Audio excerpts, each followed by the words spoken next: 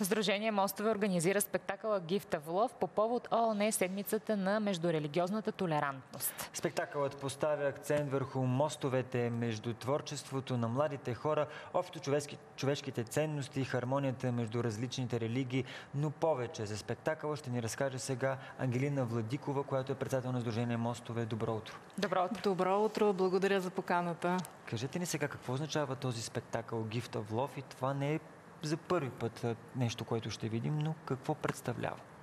Gift of Love или Дарът на любовта, както е на български, представлява един концерт-спектакъл на децата на мостове или децата на Бриджес и наши партньори, който се провежда вече традиционно за трета година в подобен формат, а ние реално от 10 години провеждаме събития в рамките на седмицата на толерантността, свързани именно с толерантността, с разбирането между различните, тъй като седмицата на толерантността винаги е първата седмица от февруари месец, т.е. и днес все още сме в тази седмица и е посветена на хармоничните междурелигиозни отношения между различните представители на религиите, извън религиите хора.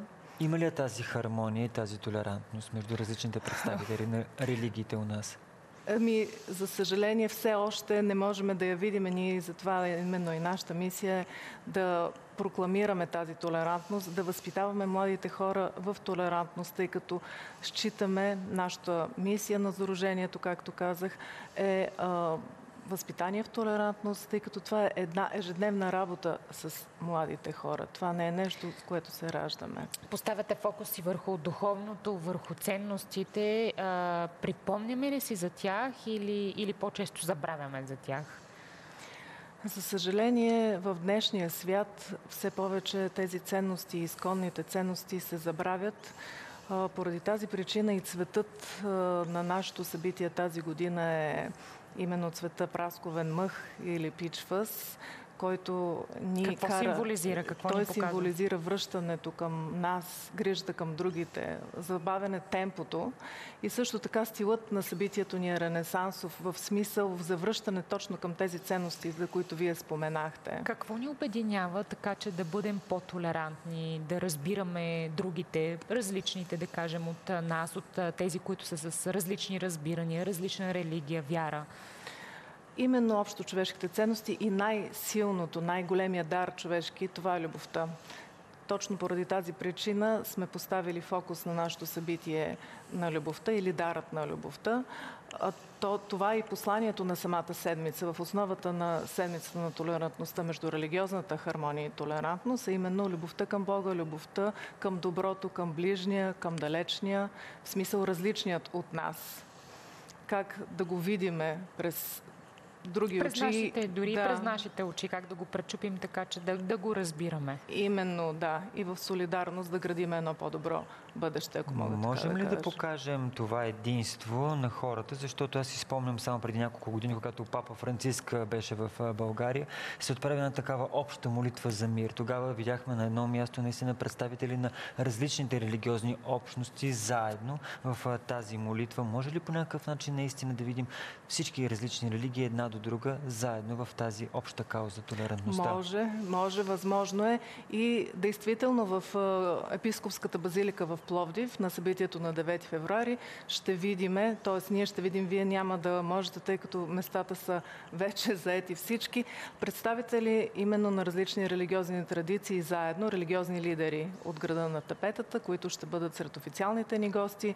Искам също така да отбележа, тъй като това е много важно за нас, че този концерт-спектакъл е а, с помощта и с партньорството на посолството на Република Австрия и а, нейно превъзходителство посланник Андрея Икичбьон е наш патрон на събитието. Защо избрахте музиката? Може би защото и музиката обединява и няма общо взето един език. Много са езиците на музиката. Именно не само музиката, а изкуството като такова е много лесен инструмент, ако мога така да го нарека, за диалог и обединяващ фактор за диалог между а, хората, независимо от коя религия са те и от каква вяра. В, а, в този спектакъл има не само музика, има и изкуство, има и поезия, Има и танци, има и обща песен накрая. Тоест, доста различни форми на изкуство сме използвали. А кога за първи път се ражда тази идея за седмица на междурелигиозната толерантност и хармония? За първи път идеята е предложена през септември 2010 година от кралят на Йордания Абдула II пред Общата асамблея на ООН.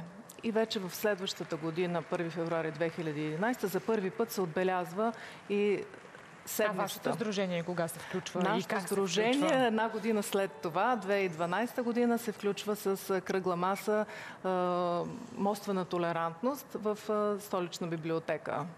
Вашето сдружение ще кандидатства и по-точно вече е кандидатство за една от трите награди, които раздава принцът на Йордания. С какво точно кандидатствахте и кога чакаме финалните резултати?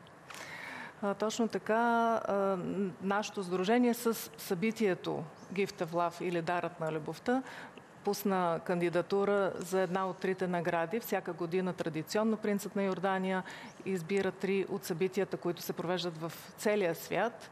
Те са многобройни, хиляди са тези събития, тъй като те се провеждат не само в първата седмица, а целия месец на февруари. Толкова се е разгърнала вече идеята. Само този концерт ще видим или други неща сте подготвили в тази седмица на толерантност? Защото говорим само за концерта на 9, но вие пък имате май една богата кошница от, така да кажа, събития. Е, специално за България сме подготвили тази, този концерт, спектакъл. Иначе участваме и в други а, международни, но онлайн събития. А какви са, какви са те, в какво се изразяват тези прояви, в които участвате? Те са вебинари, посветени на междукултурния диалог, между религиозни по различни теми, тъй като нашето сдружение е част от една глобална междурелигиозна мрежа United Religions Initiative и взимаме участие в различни събития в тази, този повод. При всички тези години какво забелязахте? По-лесно се градят мостове или по-лесно се рушат? Зависи от гледната точка, фокуса на нашата организация, именно градежът на мостове, което съвсем не е лесно. Ако мога да цитирам уста Колюфичето, който ни призовава не, не градете толкова стени или довари, както е в оригинал, а повече мостове, които да ви свързват. Моста е нещо, което свързва хората, за разлика от стените и преградите, които понякога и сами си поставяме. Кое е най-силното нещо, което може да ни свърже, така че да не се разделяме за това, че имаме различна религия? Най-силното нещо това е любовта. Любовта, която е по-мощна. При нея няма значение няма кой е значение, каква религия да. е. Да. Тя събаря прегради, събаря а, стени, тя ни обединява и има нужда от повече хора в храма на човечността и на любовта. По-лесно ли е да покажем на децата какво означава думата толерантност, отколкото на вече по-големите хора, които имат своите предразсъдъци, своите, а, така да кажа, белези на съдбата и на живота? Еми именно поради тази причина ние се насочиме към младите хора, тъй като в началото се опитвахме и с а, така по-зрели хора да работиме в тази посока. Не, че е невъзможно, но много по-лесно и по-естествено се получава при младите хора. Какво основно искате да ги научите тях? Какво искате да им покажете с тази седмица на толерантността? Конкретно с тази седмица искаме да им покажем това, което по принцип нашата организация се опитва да възпитава и прави. Това е, че има повече неща, които са общи между нас, отколкото такива, които ни разделят. И е хубаво да се фокусираме на това, което ни обединява. Предполагам, че дейността ви не приключва с това какво се случва през тази седмица на толерантността, как всъщност през, през годината и какви са другите инициативи, които поемате в тази посока, така че да се акцентира колкото се може по-често върху тази толерантност. Да, абсолютно това не е единственото събитие и слава Богу, тъй като има нужда от подобни събития и подобна посока за работа с младите хора неформално да се образоват в емоционална интелигентност, против езика на омразата. Нашият златен проект, ако мога така да го нарека, е междурелигиозен лагер за младежи, за тинейджери. Има ли много желаящи, които се включат в него? Най-интересното е, че има в последните години, той не е от вчера, вече 6-7 години го правиме. В началото беше доста трудно поради нали, всички тези стереотипи, предразсъдъци а в нашето какво се случва по време на този лагер? И къде е лагера? Да, този лагер се случва в рамките на 5 дни. Последните две години беше в Пловдив, преди това в Стара Загора. Имали сме международни формати с наши партньори от Холандия. Тази година подготвяме с 4 държави формат с Албания, Белгия, Холандия и България съответно. В рамките на тези 5 дни участниците, които са от различни религии, от различните общности, от различни части на България се събират, живеят заедно 5 дни. Какво Пловдив ни показва избра... този лагер, когато съберем представители на различните религии за пет дни заедно? Пет дни заедно. В сутрешните сесии те виждат различните религиозни храмове в Пловдив, тъй като говорим в момента за Пловдив. Там Пловдив е модел за меж... хармонично междурелигиозно съжителство. Всеки ден избираме по един храм, среща с съответните религиозни лидери. В следобедите правиме такива въркшопи или неформални обучения по различни теми, които не различни, те са три конкретни теми. Това са екология, спорт и изкуство тъй като считаме, че това са неща, които вълнуват всички нас и това са социални проблеми, които можем да адресираме заедно. А колко с... хора могат да се включат? Как ги подбират тези, които да се включат в този лагер? Ми правим апликационна форма, след което и интервюта се провеждат с тези младежи. Има доста така висок критерий. И именно, На каква възраст са те?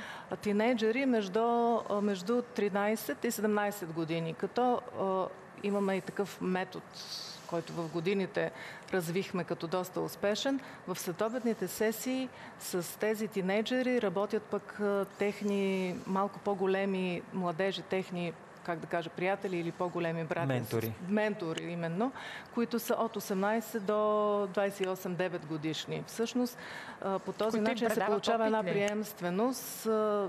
Нали, младежкият лидер, който е най-активен в нашата организация, всъщност стартира точно от един такъв лагер и в момента а, ние заедно изградихме концепцията на събитието в Пловдив. На финала да ни кажете, 9 февруари след няколко дни, всичко готово ли е вече? Казахте, че няма билети, няма шанс някой да дойде, но всичко готово ли е? В трескава подготовка сте буквално остават 48 часа.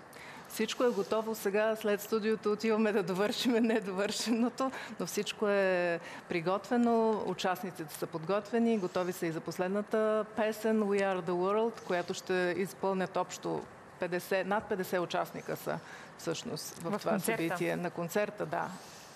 Ами, чудесно, пожелаваме ви успех и да продължавате така да поставяте акцент върху толерантността, защото е много важно да бъдем толерантни и да се обединяваме, независимо от това каква религия всеки изповядва от нас. Много ви благодарим за това гостуване.